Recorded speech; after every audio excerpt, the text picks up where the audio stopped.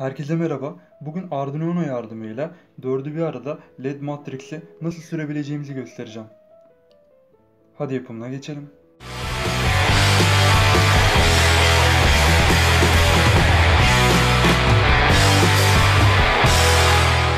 Şimdi bağlantıları yapmaya geçebiliriz. Modülümüzü ters çevirdiğimiz zaman burada 5 adet çıkış olduğunu görüyorsunuz. Bunlardan ilk ikisi güç çıkışları ve kalan 3 tanesi de veri alışverişinde kullanacağımız pinler. Şimdi bağlantıları yapmaya geçebiliriz. Modül üzerindeki VCC çıkışımızdan Arduino Uno üzerinde 5 volt girişine bağlantı yapıyoruz. Ground pinimizi Arduino Uno üzerindeki GND pinine, Data in pinine, Arduino Uno üzerindeki 11 numaralı pine, CS pinine, Arduino Uno üzerindeki 10 numaralı pine, son olarak da clock yani saat pinine Arduino Uno üzerindeki 13 numaralı pine bağlıyoruz. Ve bağlantılarımız hazır hale geliyor. Şimdi bilgisayarımızda Arduino programımızı açıyoruz.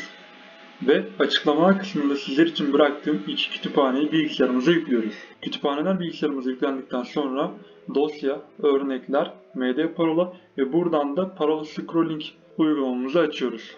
Karşımıza bu şekilde örnek bir kod geliyor. Burada yapacağımız birkaç değişiklikten sonra kodumuz Arduino'muza yüklenmeye hazır hale gelecek. Yapacağımız ilk değişiklik buradaki parola HV kısmında. Buradaki parola kısmını siliyoruz. Ve büyük harflerle FC16 yazıyoruz. Bu bizim LED matriximizin yerleşim planı ile alakalı bir ayar. Bunun altına geçip max device sayısı 11 olarak görülüyor. Biz 4 adet panel kullandığımız için bunu 4 ile değiştiriyoruz. Daha sonra son olarak aşağıya doğru kayıp şurada new message'in içindeki hello enter new message kısmını silip panelde yazdırmak istediğimiz yazıyı buraya yazacağız. Ben kanalın ismini giriyorum. Şu anda kodumuz Arduino'muza yüklenmeye hazır. Şimdi bağlantı portlarımızı kontrol edip Arduino'muza kodumuzu yüklüyoruz.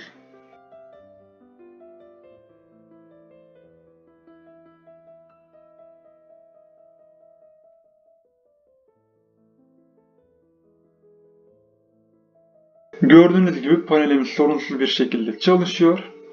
Bu kütüphanenin içinde yer alan diğer örnekleri kullanarak farklı uygulamalarda geliştirebilirsiniz. Şimdilik bu kadar. Kendinize iyi bakın. Takipte kalın.